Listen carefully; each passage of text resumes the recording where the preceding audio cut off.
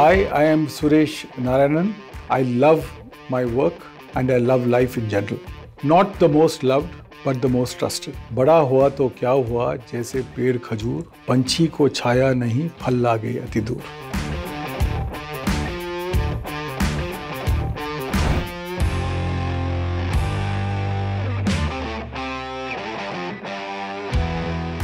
Suresh, our opening question for you today. What is a common myth or misconception about careers that the younger generation has today that you would like to clarify? I think lead, great leadership is the ability to ask the right questions, but never to have all the answers. Because if you have all the answers, you're playing God. And I don't think even the wisest human being has got the opportunity to uh, play God. Suresh, what do you rely on more, data or instinct? And how does one develop better instinct as a leader? Look, I, I have three ways in which I, I come to a conclusion or take a decision. Uh, number one is I look at facts. I am, I am a fact-based person. So just telling me that something is happening doesn't, doesn't make me sway. Number two, I travel extensively. You know, I'm in the consumer goods space. To me, the wisdom of the shopkeeper is the best wisdom that you can get, which no market research report can throw at you. And third, is the credibility and the trustworthiness of the person conveying that piece of information to me. Do I trust this guy that he is giving me the best and the most correct piece of information that I need in order to take a decision? What are the two or three biggest problems that you think leaders need to solve for in the coming decade? Number one is a sustainable planet. I think we have to be concerned as leaders and not just leave it to governments and to entities to save this planet. Second, the role of technology. Technology is meant to serve mankind, not the other way around. And leaders have to use technology to serve people and not people to serve technology. And the third is all about talent. The single most important differentiator between average performance and great performance is culture and talent. And if these two are nurtured by a leader, I believe that they are well on the path to a successful, sustainable ecosystem. Suresh, what is a common myth or misconception about careers that the younger generation has today that you would like to clarify? One of the myths that exist is that careers are planned by someone else. Just to take the philosophy that the youngsters use today, which I think is a relevant philosophy, which is life is all about experiences. Taking this experience concept forward, you need to do what interests you the most, what you're good at, and what you're passionate about, which means that there is a lot of onus on the person himself to carve their careers. In the context, especially of having leaders who are of a different generation. A Gen Z is very far away from me in terms of generation, which means that the Gen Z has to put together and articulate what he or she wants to do with their lives, and then to see in the context of Nestle how that can be best met. The second, and it's a myth that I see from my perspective, the fact that you stick around in a company for 10 years or 15 years or 20 years is a sign that you are either a slothful fellow or that you're a bored fellow or that you're a risk averse guy. Uh, I think none of this is true. You can be genuinely happy in an organization and continue as I have in Nestle for 24 years. Suresh, what is Gen Z or millennials expecting from their leaders today? I want to bust this myth that Gen Z is some kind of different animal on this planet that we have an incapacity to understand. Leadership expectations of generations remain the same. It's not dramatically different, the context changes. Number one, you want to have an authentic and a trustworthy leader. Second, you want to have a capable leader who's got the necessary guts to be able to take issues head on and handle and manage the organization during a crisis. Third, you want a leader who's creating opportunities for growth, both for the individual and for the organization. And four, you want a leader who is sensitive, compassionate, caring about the planet and caring about his people. When I started 40 years ago it was exactly the same. There was nothing different in, in the way it was. And the people who became my icons were all those people who exhibited these traits. So let's double click on that. Are you saying there isn't a different way to manage millennials today versus, let's say, how your boss had to manage you? When I started my career, we had a lot of what were called type A managers. Uh, it was a command and control system that they decided that what was right and you had to do. Today, I think it is more consultative and it is more collaborative. The leadership model itself has changed. If I think that I can lead a successful company by dotting all the I's and crossing all the T's, I'm hugely mistaken. And I think that style of management has gone out a long time back. Today's expectations is that there is a leadership that empowers, that respects, that is disciplined. It strokes you on the back if you do something good. I think all of us as human beings, we crave recognition. We don't necessarily crave a huge amount of money in our in our bank. How much value do you place on pedigrees as a leader? And what's your message to young leaders who don't have a pedigree? Honestly, for me, more than pedigree, what is important is attitude and aptitude. I mean, I get inspired by the ISRO model. Chandrayaan 3 was put together by a bunch of people who are not Harvard, Stanford, MIT, IIT, or whatever, but they were from ordinary engineering and, and technology institutions. You can have the best pedigree, but yet you can add nothing in terms of real value. I spent a fair amount of time traveling and I like to go to institutions which are not the A, A plus institutions. I go to the B and C institutions. Why do I go there? Because they need the stroke of a leader to get the best out in them. So I reach out to these, these youngsters and I must say, I barely can sense the difference between one pedigree and the next. The ones who are in fact from an institution which is less well known are more committed, are more grateful and are also much more passionate to do the things that they should be doing. Suresh, how do you spot leadership early on in somebody in their 20s? Number one is their attitude. How confident, how cogent, how passionate are they about what they're doing? You can easily sense it. The second one is definitely aptitude and the ability to take on difficult assignments. Those youngsters who put up their hands to difficult assignments, I give them 10 on 10. It's easy to do the easy stuff. It takes courage to do the tough ones.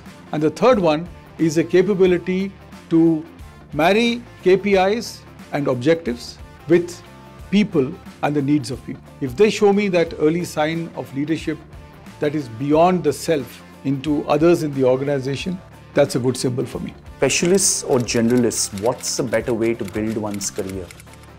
The world has become a lot more uncertain. Different capabilities are involved at different stages. The more you go around assignments, the greater amount of experience and wisdom you gather. I spent five years in the Arab Spring, had Egypt, Libya, and Sudan. Those five years helped me manage the crisis that we had in Maggi eight years ago. If I had been a traditionally brought up leader without this exposure, I might have reacted to the whole crisis in terms of the unidimensional focus that I had, either a marketeer or a channel or some specialist like that. The world today is becoming a lot more complex. Organizations need to be a lot more flexible to be able to give opportunities to young people to experiment, ultimately gravitate towards something in their career which gives them lasting value both to themselves and to the organization. What do you think is the leader's most important job in a crisis? Number one, the ability to manage yourself and your emotions. I think that is more than 50% of the, of the problem. Number two, is to be cognizant of the fact that people hurt and that compassion is an important element of leadership. And number three, always think how will I come out of this mess when it finally ends?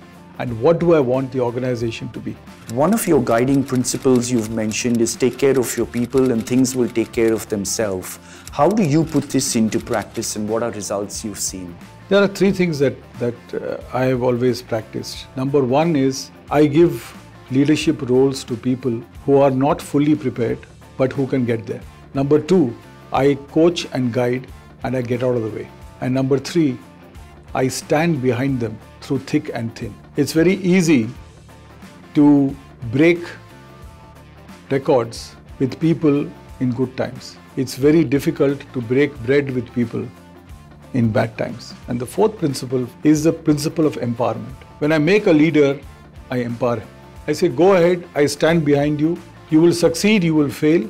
If you fail, there is no problem because failing to succeed will help you to succeed to succeed. You've said that speed without direction is as worthless as an arrow without a target. What are Suresh's methods to find direction? Task of leadership uh, to me is three important elements. Number one is I think leaders spend too much of time looking through the rearview mirror to see what the hell has happened, what the hell has happened, and not looking ahead on what can happen and what could happen. Number two is to feel the pulse of the organization. Preparedness for change is as important as making the change happen. And number three, never lose your winning spirit. A leader cannot either rest on his oars or when failure comes to say, now give up, backup time. You have to have your winning spirit and yet you need to know when to step off. Other than your business performance, what is the one thing you're most proud of as the leader of Nestle? You know, Ruben, it is now legacy time for me. I am no longer the leader who's seeking to impress people or to prove something. Whatever I've done, I've done in these 40 years. Whatever I could prove, I have proven. What I am most delighted about is the cadre of leaders that this organization has nurtured and continues to nurture. Ultimately, it is going to be this leadership that is going to propel this organization forward. Suresh, what is it about you and your leadership that keeps making Nestle turn to you in times of crisis? I try and be as authentic as, as I can, what's and all. So my people know what my strengths are, they know what my weaknesses are, and they know how to how to play uh, that uh, to the fullest extent. Number two, they know that I care for people. To me, that is the most important task of leadership, and that I'm sworn to. I have never compromised treating people with decency, respect, and with dignity over performance, over numbers, over any of these things. And the third thing is, uh, people realize that uh, I don't have too much of an opinion about myself. I'm not caught up in this ego trip of always trying to show that I am the most clever guy in the room. Suresh, how do you square this up as a leader of taking tough calls on people yet keeping morale high? Number one is the buck stops at my table. I never believe in upward delegation of problems or downward delegation of troubles. The buck stops at my, at my, at my desk, which means that I have to see reality in the eye. If I don't see it, nobody else will see it for me. Number two, when tough decisions on people have to be taken, they have to be taken. So I am unemotional about the decision to be taken. I'm emotional about the execution. So to me, the execution is extremely important. If I have to take a tough call and somebody tells me this is how I want you to treat, then I'll say, then I'm not the guy to do it for you. You find somebody else. And I have the honesty and the courage to say that when it happens. And what is the kind of culture you would like to be known for? I would like to be known as a, a decent, professional, uh, trustworthy human being. Not the most loved, but the most trusted. Because I would have taken decisions that hasn't entirely endeared me to a lot of people. But at least they trust me for what I've done. The other bit that uh, defines the way in which I that I would like to infuse in the company is a greater sense of urgency and speed. Two elements have come out within the organization. One is the element of speed, and the second is security and security of the self. So sometimes people are still scared of voicing their opinions because they feel that somebody will get offended by it. Two values of the Nestle culture that you are really proud of, and two things that you would like to infuse more of in the Nestle culture. I'm very proud about the culture of respect in this organization respect for this, for ourselves, respect for each other, respect for diversity, respect for the future. I think that's for me, respect is an intrinsic part of it. And the second one is the fetish for quality. We can kill ourselves in order to ensure that quality is of the right standard. And that's why the consumer trusts the name Nestle. Suresh, are there any failures that have taught you something more about people? I was responsible many years ago uh, for the launch of a brand a fruit drink called Treetop when I was in Lipton. It sank without trace. What I learned was not to just lick my wounds, but I had a lesson in leadership. Because the one who led the project at that point in time in the company chose to step down from his position. And he said, None of these youngsters are involved or should be held responsible for it. I should be as a leader. That set the tone for me. That leadership walks the talk. Suresh, what's the most defining feedback that you received on your leadership? Who did it come from and what did they tell you? I received this feedback uh, uh, almost at the start of my career and it came from my, my, line man, my line manager at that point in time. And we were going through a huge crisis in Gujarat at that point in time. I am trusting by nature my distributors were unable to pay the money to me and we ran up huge outstandings. My line manager called me up one day. He said, Suresh, you are a very trusting young man, but money does not run on emotions. You better start getting tough on such things. And I think that was a revealing start because I, I said, look, it's a difficult time. You know, he'll pay me back when he is able to. That was the kind of balance between yin and yang for me, between the KPI driven side of my job and the uh, people side or the human side of my job. Three things that Suresh is known for while running an effective meeting. Focus, laughter, speed. How does a leader like you go about giving CXOs feedback? Their treatment of people, their strengths, and their opportunities. How do you create disagreement in a company and how do you create a culture of disagreeing with the leader? What I really try and do is uh, make the discussions very free flowing and transparent. Uh, so there are no holds barred except respect. That is inviolable. So you cannot be disrespectful or personal on each other at meetings, but you can say exactly what you feel like and what you want to. Who are some inspiring bosses or leaders that you have worked for? And what did each of them teach you? When I started my career at, uh, at, uh, at, Hindustan uh, Lever, as it was then called, uh, Hindustan Unilever, I think I was uh, greatly inspired by uh, by our then chairman of the company, Dr. Ganguly. And that was because of the kind of leader that he was. You know, he was caring, he was tough, he could be brutally honest, uh, but he was obsessively sincere in what he uh, spoke and what he did. And that really, that, that inspired me. Cut to, to, to, to Nestle, I had a boss uh, when I was posted in Egypt a gentleman called Roger Stetler, who was the, the, the head of Africa in those days. And I was going through hell in Egypt. And here was a leader who stood by me seven days a week, 365 days a year. And he said, You don't worry about what happens in this house. You just take care of your people and your business. And we are here to support you. It seldom happens. You know, when there's a crisis, everybody and his brother wants to jump in and give you advice and do this, do this. This man just kept himself off. He said, You're clever enough, I trust you enough, you're authentic enough, and you'll do the job well. It's a rarity in today's day and age. And I think that was something that these are these are two people I must say really inspired. Who in Business India is inspiring you right now and why? There is one business leader that I have greatly uh, looked up to in the co- context of India, and he's unfortunately no longer around, is uh, J.R.D. Tata. The sheer vision, the sheer power of creating the Tata enterprise, and the focus on ethics, equity, and decency at the center of how that enterprise is run. What does someone after four decades of experience like you seek feedback on? Look, I, I seek feedback on two things. Uh, number one is my comprehension on issues. You know, the technology that is being used today is very different from what I'm used to. And secondly, uh, a feedback on impact. Uh, when I when I talk something or, or say something, Am I simple enough? Am I clear enough? Am I cogent enough? Am I sincere enough? My immediate direct reports will obviously give me one set of feedback. But when I go when I go down the line and talk to the youngsters, they might give me a completely different feedback.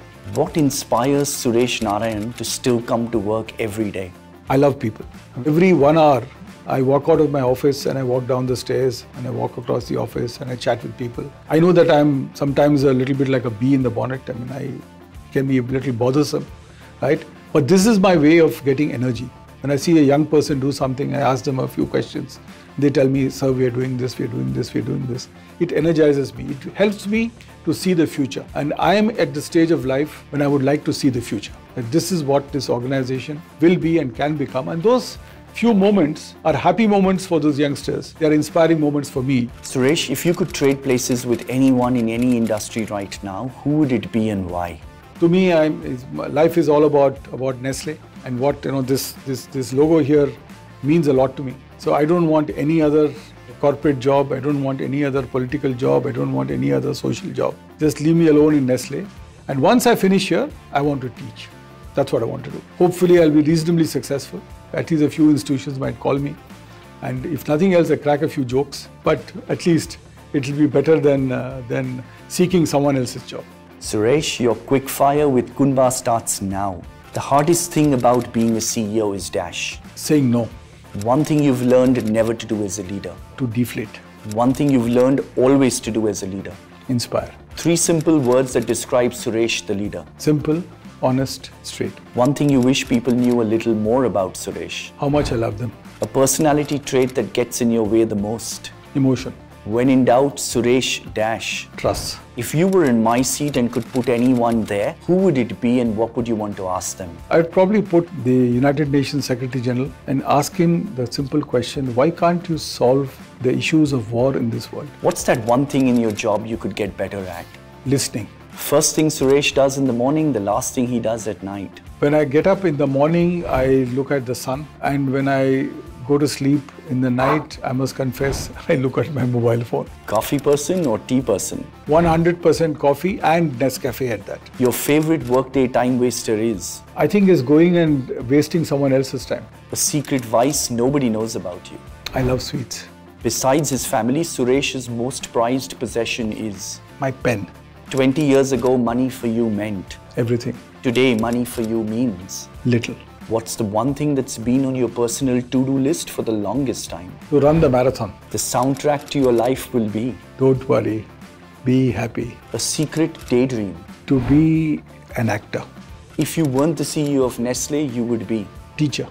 Center court with Roger Federer or an intimate evening on Kabir with your batchmates? I think at this stage of my life, intimate evening with Kabir with my batchmates. A doha that you are living by at this stage of your life? बड़ा हुआ तो क्या हुआ जैसे पेड़ खजूर पंछी को छाया नहीं फल लागे अति दूर your favourite Maggi flavour faced boringly masala you say I would say yes to it I love masala can Suresh actually make Maggi in 2 minutes I can One D2C platform that's caught your eye. Mamaearth. Your favorite binge watch till date. Crown.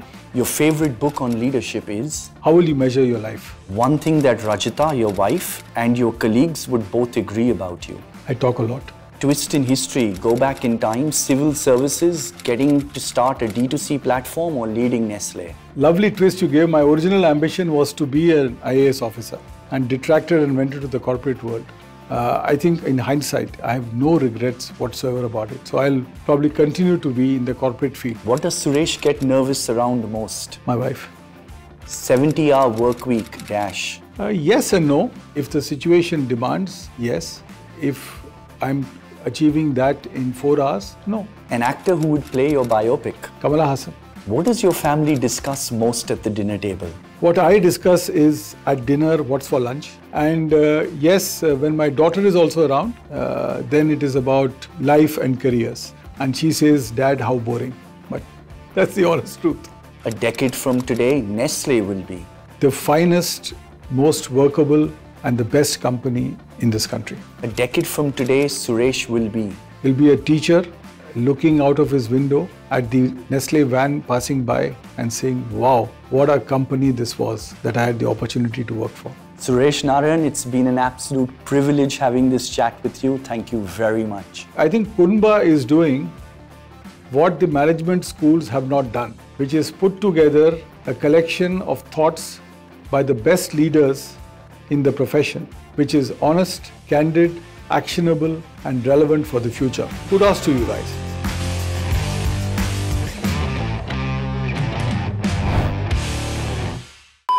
And smile at me so I'm at ease. Good